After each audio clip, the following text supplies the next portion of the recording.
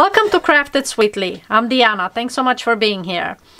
In this video, I wanted to show you my favorite tools for book folding. So if you're a subscriber to my channel, which you're, if you're not, then please subscribe below. But if you are, um, then you've seen a lot of my videos are tutorials. In this video, I really won't be showing you a tutorial of any kind. It's more about my favorite tools for book folding. And you can certainly use other tools and people have come up with their own ways of doing things, but I just wanted to show you what I use and what's worked well for me. So I'll start off with the book stand, with the book folding stand.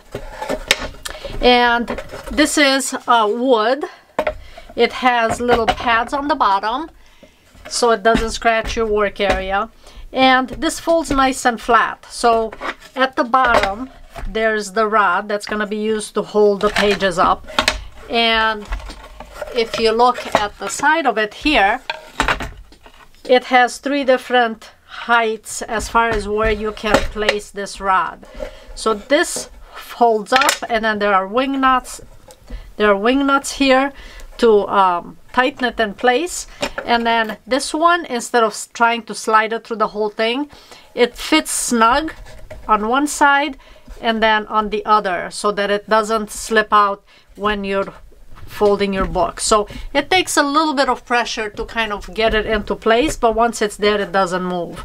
So you can tighten this and then when you work on a book, you're just gonna put your pages here and it holds them in place. Okay, so this is one of my, uh, I definitely use this every time I'm doing book folding. I'll fold this back down. Same thing, just pop it out. And then I tighten this so they don't flop down. And I love this little storage area for the, the rod. Okay, so that's my book folding stand. Now next in line would be um, this 180 marker that I've come up with. And what's nice with it is that it has this lip right here and that's going to butt up against your pages. So when you have your book like this this will go right against the the pages. And I have a tutorial on my book stand. I have a tutorial on how to use the 180 marker. I've done um, probably a dozen different videos on various book folding techniques so be sure to check those out if you want to look at a particular type of fold and I also have one on tips on using this. Now when I first started with this 180 marker, it looked like this. So it was put together from various, you know, uh, no, not an assortment, but multiple pieces of wood. The new and improved version is actually one piece of wood with the slots in between. And I have a tutorial on how to use this as well.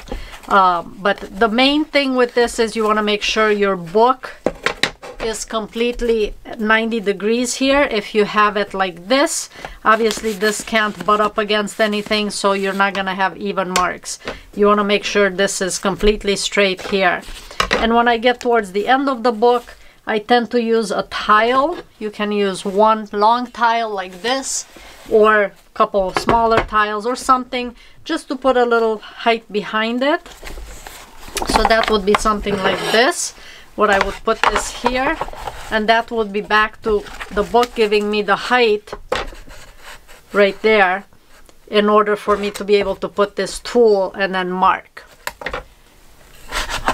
Okay, now when I'm marking pages, so if I'm using a 180 marker, you need to score the line somehow. And for that, I'm using one of these um, stylus embossing kind of tools.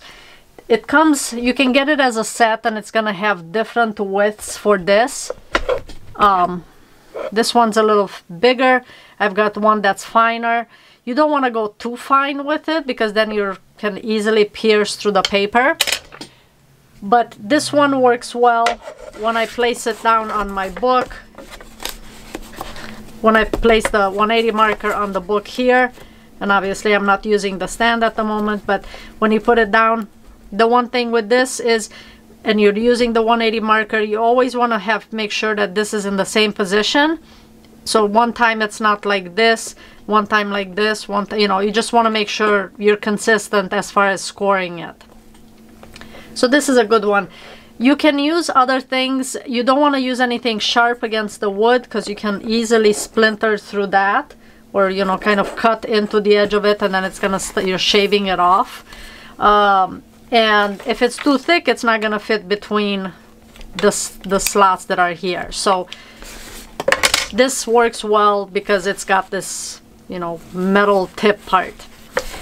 Once you have your page uh, scored, then you can use the back of this sort of like this if you have it and use this as a uh, boning tool you know like folder. Sometimes I reach for one of these. It's gonna give you a crisp edge so that's certainly an option is to use a bone folder to do that. Now the next tool that I love once I discovered this my I, my eyes totally thanked me for for this is an Incra ruler. And what's nice with this is that it's got the same thing, you know, 90 degree angle here. So when you're placing it down, it's gonna go right against the, the book here. So there is no question about it sliding, um, you know, going like this because you're gonna have a gap. As long as this butts up right against the top of the book, it's always gonna be consistent.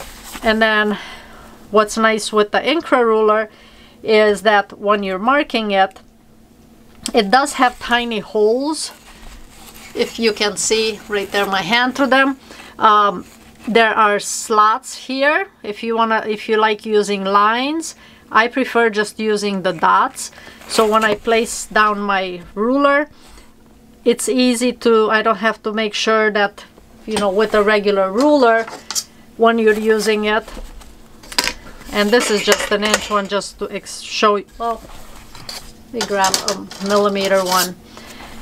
But with this one when you're placing it down you know you kind of have to make sure this is even. You have to make sure as you're counting that you're at the right millimeter mark. So all that stuff takes time. With the Incra ruler you, all that's guessing is taken out. You've got your 30 and then like 2 right there. So 3.2 right there. 4.7 you know 6.5 so it's really easy to go down the line and again if you prefer the the slots for this then you can do that which would be a line versus the dots but the dots work well for me when you use the Incra ruler you do need to use a pencil that has a 0.5 millimeter lead in it. 0.7 will not fit through the holes here. And I haven't tried the slots with the 0.7, but it looks like the same thickness. So um, it is a 0.5 millimeter that I use for here. And then that's why I purchased this. And for all of the supplies that I'm mentioning, I have a link below in the description box. So if you're interested, you have quick, easy link to um, check out the, the products. Next, once you have everything marked, then I use uh, scissors. Um, people have used X-Acto knives, uh, scalpel tools. This works well for me. Um, what I like is that it has a very sharp tip so that it's not going to kind of break the paper, especially on those one millimeter cuts. So when I cut, it's a very precise cut for it. And this is just a Fiskars scissors. Now once you get into the coloring of the pages, couple of options. Um, if you're just coloring, like if you're coloring something that did not have a 180 fold, you can't use cardstock. So at that point you're gonna use marker. I like to use Sharpies for that. Um, and what I like is that it has a wide tip to it so that when I'm marking across the page, it's not a skinny line and it also kind of bleeds through the page so that I don't have to do both sides of the page as far as coloring it. So usually Sharpies are my go-to for that. Another option for coloring if you're not using this, and I did a tutorial where I colored not the image that I was folding but the negative space, um, I used alcohol ink.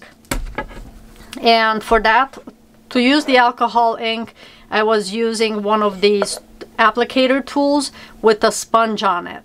And I would just apply the alcohol ink and then run it across the, the page so that it colored the page on both sides at the same time. Meaning, you know, this side and this side right at the edge. So this was another possibility for applying color. Now if you are using cardstock, once you've done a 180 fold, then what I like to use is for the cardstock. So if I need to color the design using cardstock because I've done a 180 fold, then I like to use this Cutterpillar paper cutter. Obviously, again, same thing. You can use whatever paper cutter you have. You don't have to go and purchase a new paper cutter if you have one. I'm just showing you my preferred tools. Um, what I like with this is that it's super fast. So, um, you know, it squares off nicely here and you can go as thin as you'd like. You don't need to go super thin when you're doing for book folding. This is probably too thin. So I think that was maybe a quarter, that was a quarter of an inch. So let me go a little wider for it but it cuts really nicely. So these are, you know, kind of the size that I use for coloring with cardstock. One thing to keep in mind when you are using cardstock, you want to make sure that the paper is, like if you're looking at this paper, I don't know if it's maybe a little hard to see, I'll hold it against here, is the edge is white. So this is actually a paper with white core. And the way you can tell is if you rip this right there you can see that it's a white inside. It's actually just black on the outside. So when you're using cardstock for book folding you do need to make sure that the cardstock is colored through the core. That way when you're because when you're looking at the paper you're actually looking when you're putting it in a book fold you're looking at this. So you're technically putting another white piece of paper where you're trying to color. Okay, so that's why you need to make sure that when you're coloring, when you're putting in, this is black also. Okay, so if I rip this a little bit, I'll show you. See, that's black on the inside versus the white here. Okay, and this is what you want for book folding. You want the paper with a solid colored core, not white. Okay, so I like to use this for doing the, the coloring part of it for the 180 folds. Um, other than that, the last thing really is the outside of the book. I mean, I'll use ribbon to tie the book at the bottom, for example, um, and then the other thing is wrapping your book um, on the outside. And for that if I need to wrap I'll usually use double-sided tape on cardstock. And then I have a tutorial on how to wrap your book super fast with paper with cardstock um, all the way around. So that way you know you don't see the spine at all and it's covered completely. And then I'll just use this um, easy runner double-sided tape because it's really fast to go all the way around the cardstock I mean around the paper that I'm wrapping it with. And you can check out that tutorial as well. So below I'll link all the various supplies and then I'll also link some of the videos but if you just check the book folding playlist you can see all the various videos I have done for book folding I hope this was helpful. Um, again, it's a lot of tools you may already have um, around the house. If you're doing, obviously you're probably gonna have scissors, but as you start doing more and more book folding, you're gonna try and get things that'll work better and make it easier for you to fold and have a consistent fold throughout the book. Um, if you have any questions about any of these, please don't hesitate to comment below. Um, if you do book folding, join my Facebook group and post your books there, your projects. Would love to see those as well. Thanks so much for watching and I will see you in the next project, whether it's book folding or not. I do lots of different videos, not just book folding. Thanks so much and I'll see you next time.